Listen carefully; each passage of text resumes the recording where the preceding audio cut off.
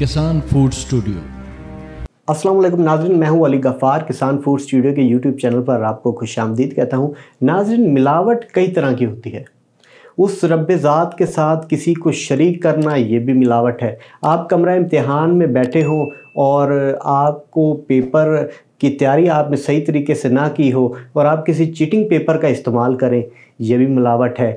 आपका जो है वो ज़ात अंदर से कुछ और हैं और बाहर से कुछ और आप दिखलाते हैं तो ये भी मिलावट है। आप गुनाह को गुनाह नहीं कहते तो आप अपनी ज़ात के साथ मिलावट करते हैं। इसी तरीके से हम अगर खाने पीने की चीज़ों में मिलावट देखें, और कुरान ने जिसे नूर कहा हो, उस दूध में मिलावट हम देखें तो बड़ा अफसोस होता है। तो आज की वीडियो इसी के मुतालिक है। आपके घर में अगर मिलावट ज़्यादा दूध आ रहा है तो आपने उसको कैसे चेक करना है?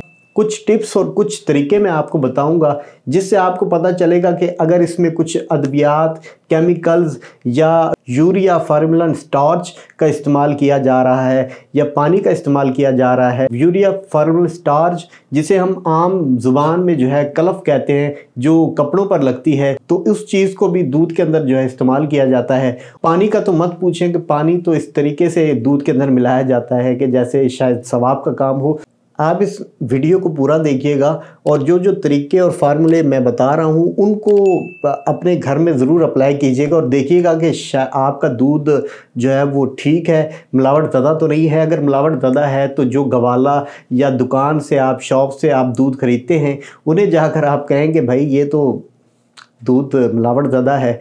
तो उन पर थोड़ा दबाव भी डालें और उन्हें एक्शन भी लें उस बात पर। फिर अगर वो नहीं मानते तो फिर जो गुनाह आप देखते हैं तो मुँह से बोल कर रोके, हाथ से रोके, दिल में बुरा जाने, लेकिन उन्हें जो है वो आप उस पर एक्शन ज़रूर लें, क्योंकि ये जो मिलावट ज़्यादा दूध हम पीते हैं, इससे बहुत सी बीमारियाँ जन्म लेती हैं। और कुछ ऐसी बीमारियाँ फिर हमें उस वक्त तो हमें नहीं पता चलती, लेकिन आहिस्ता आहिस्ता ज़िंदगी गुजरती जाती है तो कुछ बीमारियाँ ऐसी लायक हो जाती हैं, जिनका इलाज फिर नामुमकिन हो जाता है। तो आइए चलते हैं पहले तरीके की तरफ़। आपने पाँच एम दूध दो कपों में डालना है, जो कि एक खाने का चम्मच बनता है। दो चम्मच साल्ट के डाल देने हैं।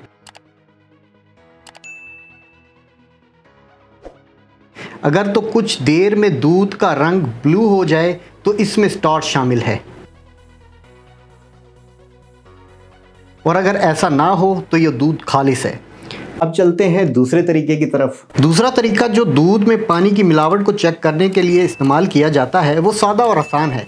एक स्टील की प्लेट लें जिसमें से दूध बहता हुआ नज़र आए। प्लेट को आपने तिरछा रखना है। दूध का एक ड्रॉप इस पर डालें।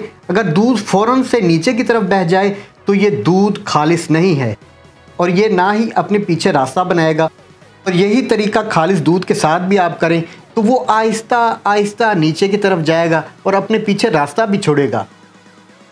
अब चलते हैं तीसरे तरीके की तरफ़। जो केमिकल्स को चेक करने का तरीका है तो आइए उस तरीके की तरफ़ चलते हैं। केमिकल्स को चेक करने का आसान तरीका ये है कि आप दूध को बॉयल करें और ऐसे ही रख दें।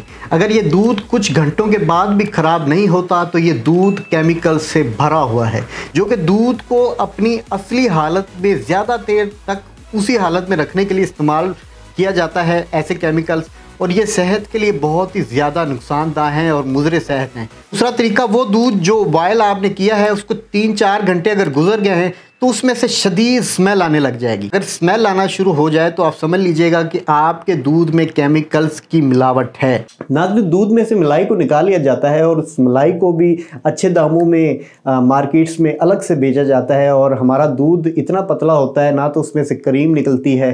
ना जो है उसमें से हम दही बना सकते हैं, ना दूध से बनने वाली और बहुत सी चीज़ें हैं, ना वो बनती हैं तो हम हर तरफ़ जहाँ भी देखते हैं तो सब लोगों का यही सवाल होता है कि ये दूध ऐसा क्यों है? और कुछ गवालों से जब मैंने पूछा कि आप इस तरह का दूध लोगों को क्यों देते हैं तो वो कहते हैं कि खालिश दूध की लोगों को जो है वो आदत ही नहीं है।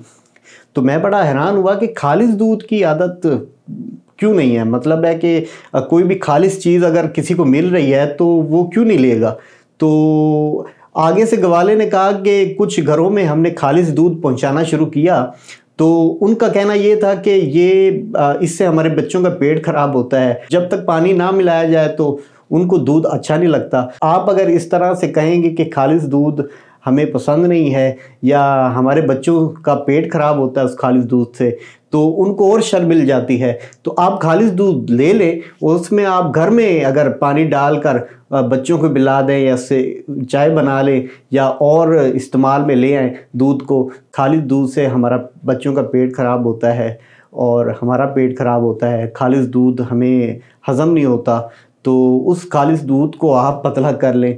तो ये ज़्यादा बेहतर है कि बजाय उससे कि आप गवालों को ये एक बात मिल जाए और इसकी बिना पर वो लोगों को जो है वो मिलावट ज़्यादा दूध पिलाएँ। आप उनसे ये शिकायत मत किया करें। नाजिन, आपने ये सब तरीके देखे और इन तरीक़ों पर आप खुद भी अमल करें और जितने और लोग जिनको शक शुबात हैं कि हमारा दूध खालिश है या नहीं खालिश है तो ये छोटा सा छोटा सा एक एक्सपेरिमेंट आप अपने घर में भी कर सकते हैं और इस मैसेज को, इस वीडियो को अपना माशरती और इखलाकी फ़र्ज़ समझ कर लोगों के साथ शेयर भी कीजिएगा ताकि लोग इससे मुस्तफ़ हो सकें और कुछ लोग अगर खालिश दूध की तलाश में हैं या मिलावट ज़्यादा दूध से तंग हैं, इस वीडियो से इनको मदद मिल सकेगी जो अपने घर पे ही इस खालिश दूध का या मिलावट दादा दूध का जो है वो डिफरेंस कर सकेंगे। फिर मिलेंगे एक नई वीडियो के साथ, एक नए टॉपिक के साथ। तब तक अपना ख्याल रखिएगा।